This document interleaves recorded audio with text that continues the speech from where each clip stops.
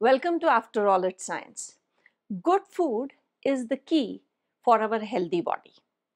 Good food से what I mean is good food के तीन aspects हो सकते हैं एक the ingredients that we use when we prepare that food the second is the balanced diet और third is of course the taste इस video में हम ingredients की बात करेंगे जो डिफरेंट इंग्रेडिएंट्स हम यूज़ करते हैं on a daily basis to prepare our food उन इंग्रेडिएंट्स का साइंटिफिक रीज़न या सिग्निफिकेंस क्या है and how they help in boosting our immunity and बाकी बहुत सारी एलिमेंट्स हैं जिसके ट्रीटमेंट के लिए हैं।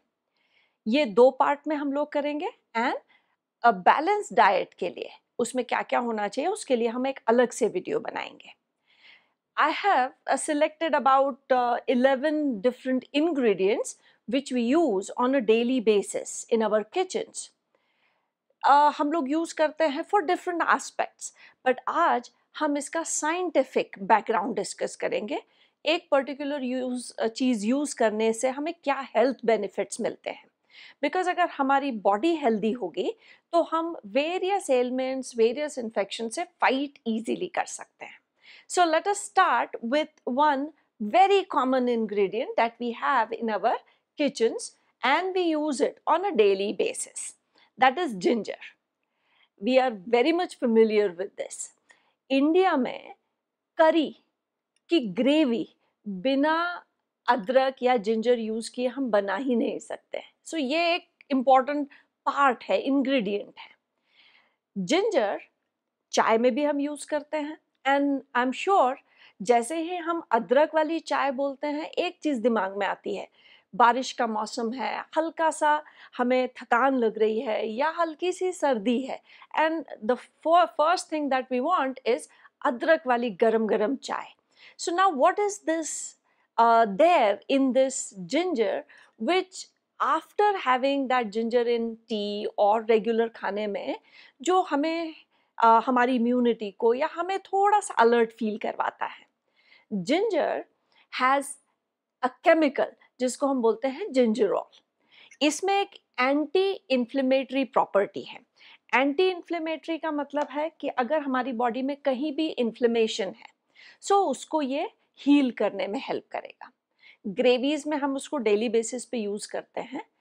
ठंड में गरम चाय, अदरक वाली is the most refreshing thing ये तो ठंड की बात हुई। बट अगर हम समर्स में हैं तो हम मट्ठा लेते हैं। मट्ठा मतलब छाछ है और उसके अंदर हम थोड़ा सा जिंजर ग्रेट करके डालते हैं। बेसिक आइडिया इज़ कि वो सारी जो उसकी केमिकल प्रॉपर्टीज़ हैं, वो उसके अंदर आ जाए।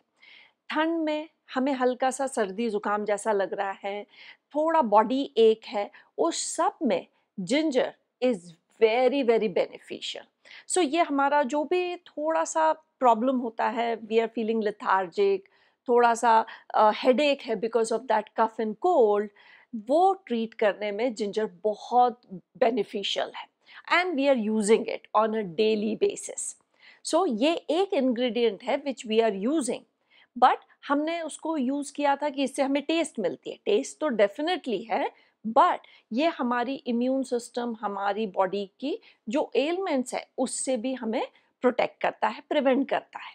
The second ingredient which I want to talk about is turmeric haldi again we are very familiar with it हमारे किचन का ये एक बहुत इंपॉर्टेंट पार्ट है। अगेन कोई भी ग्रेवी है, कोई भी सब्ज़ी है, दाल है, बिना हल्दी के कंप्लीट नहीं हो सकती। हल्दी या turmeric is known for its antiseptic properties अब एंटीसेप्टिक प्रॉपर्टीज़ एक सिंपल सा एग्ज़ाम्पल दूँगी। I have seen my grandmother work in the kitchen I have seen my mother also work in the kitchen और एक बहुत कॉमन चीज़ होती थी कि अगर मेरी ग्रैंड मदर की फिंगर कट गई सब्ज़ी काटते टाइम या किसी भी किचन का काम करते time so the thing she would do was थोड़ा सा हल्दी पाउडर लिया और उस कट पर लगा लेती थी। दिस इज़ बिकॉज़ एंटीसेप्टिक है। एंटीसेप्टिक मीन्स जो वहाँ पर जर्म्स हैं, जिससे हमें इन्फेक्शन होने के चांसेस हैं, उससे हल्दी हमें प्रोटेक्ट करती है। Haldi is also very good when it comes to cold when it comes to congestion आपने सुना होगा कि गर्म दूध में हल्दी डालकर हम, हमें पीने के लिए बोलते हैं। ये कब होता है जब हम बीमार हैं जब हमारी बॉडी में एक है थोड़ा सा मसल में फटीग है उस टाइम पे बोलते हैं गरम गरम दूध में हल्दी डालकर पी लो। This again relieves the muscles it helps fight the infections. That means ये हमारी इम्यून सिस्टम को एनहेंस कर रहा है। सो so, हल्दी हम रेगुलर बेसिस पर यूज़ कर रहे हैं हमारा जो डेली प्रेपरेशन होता है, सब्ज़ी के फॉर्म में, दालों के फॉर्म में, सब में I think except for the sweets हम सब में हल्दी यूज़ करते हैं। थोड़ी सी एंड वी नो थोड़ी सी हल्दी पूरी सब्ज़ी में हम डालते हैं।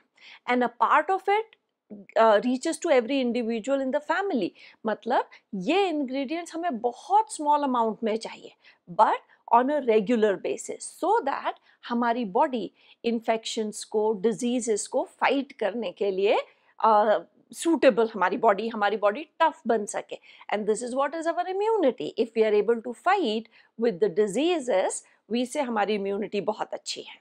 द नेक्स्ट आइटम और the next ingredient which I want to pick is लौंग या क्लोव्स लौंग या क्लोव इसकी स्मेल बड़ी स्ट्रॉन्ग है। इसमें से हम ऑयल एक्सट्रैक्ट करते हैं। And this is also available in the market as clove oil अलग से। But as cloves which we use घर में, वो तो एक अलग पार्ट है बट ऑयल अलग से मिलता है।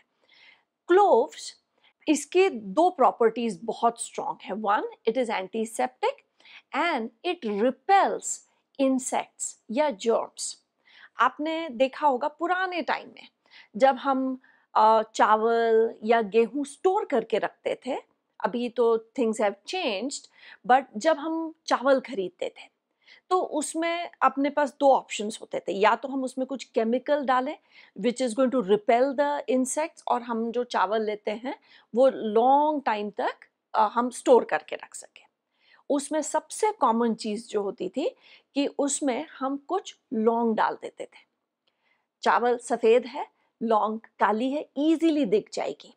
एंड इसमें से जो फ्रेग्रेंस या इसका जो केमिकल है, जो फ्यूम्स आती हैं, वो इंसेक्ट्स को जर्म्स को रिपेल करते हैं। आपने ये भी देखा होगा कि अगर किसी को टूथ एक है, दांत में दुख रहा है तो हम बोलते हैं दांतों के बीच में लॉन्ग दबा लो। When we squeeze that clove, उसमें से ऑयल रिलीज़ होता है।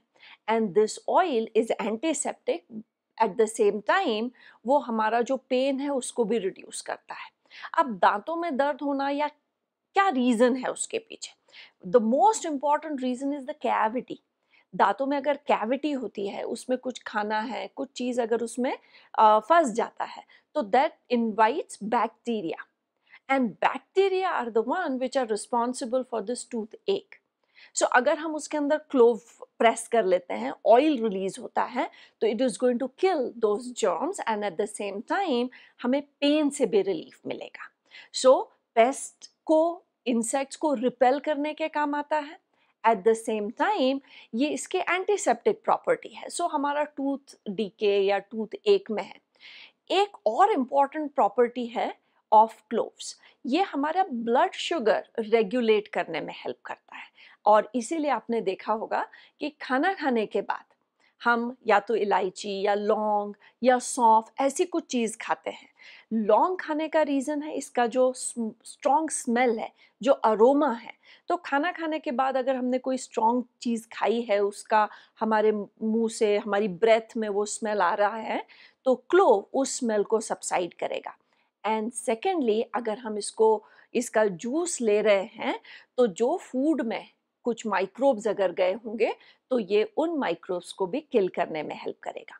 And if our body is able to destroy those microbes this is what is meant by immunity that means all the ingredients that we are talking about today ये कहीं ना कहीं हमारी immunity को boost करने में हेल्प करते हैं।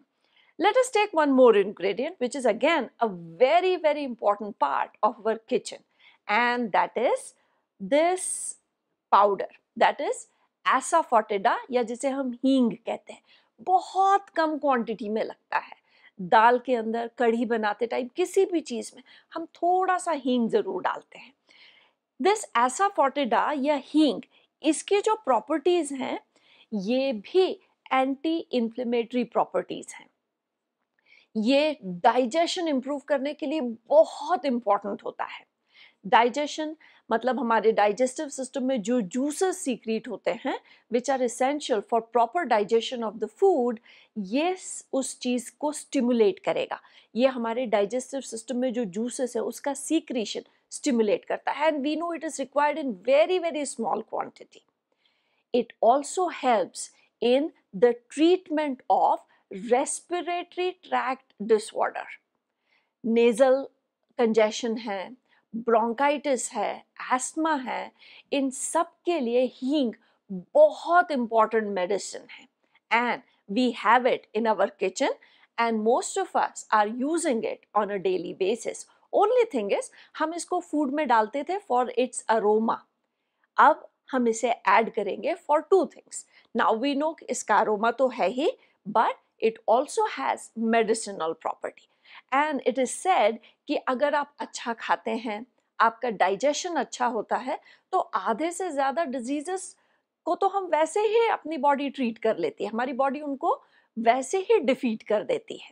और अगर टेक्निकल टर्म में हम इसकी बात करते हैं this is what again is the immunity so it is always said कि आप अच्छा खाइए good food and all these ingredients are very very important for that Let us take one more ingredient, one more spice which we use in our daily cooking and that is cumin या जीरा सब्जियों में बघार डालते time दाल में jeera is very very commonly used cumin smell इसकी बहुत अच्छी होती है very pleasing smell it has at the same time इसमें एक ऐसी प्रॉपर्टी है which is very very essential it boosts up our immune system. And अगर हमारी इम्यून सिस्टम इज़ गुड तो हमारी बॉडी अपने आप ही बहुत सारे जर्म्स पैथोजेंस डिजीजेस से फाइट कर सकती है। जीरा हम किसमें यूज़ करते हैं? सब्ज़ी बनाते टाइम दाल बनाते टाइम अभी मैंने जब हम जिंजर की बात कर रहे थे, तब हमने कहा था कि मट्ठा जो हम गर्मियों में यूज़ करते हैं, उसमें हम जिंजर डालते हैं। उसमें हम जीरा भी डालते हैं। Jeera powder is very good. Salads वगैरह में जीरा या अगर हम छाछ भी ले रहे हैं तो उसके अंदर थोड़ा सा अगर हम जीरा डालते हैं तो ये हमारी इम्यून सिस्टम को बूस्ट करने में बहुत हेल्पफुल होता है।